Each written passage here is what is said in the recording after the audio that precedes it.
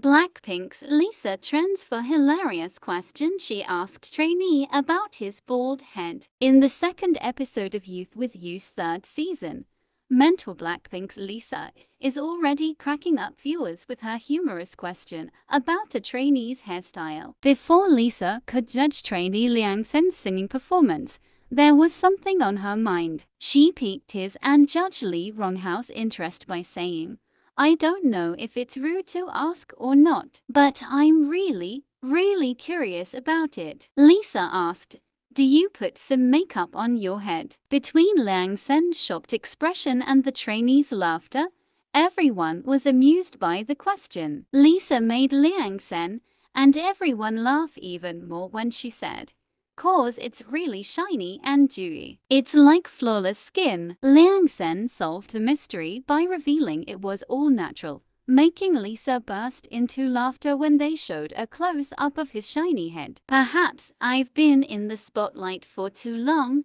and the oil or the light begins to beam. That's why it's shining. Dot. In fact, I didn't use makeup. Yeah, it's skin oil.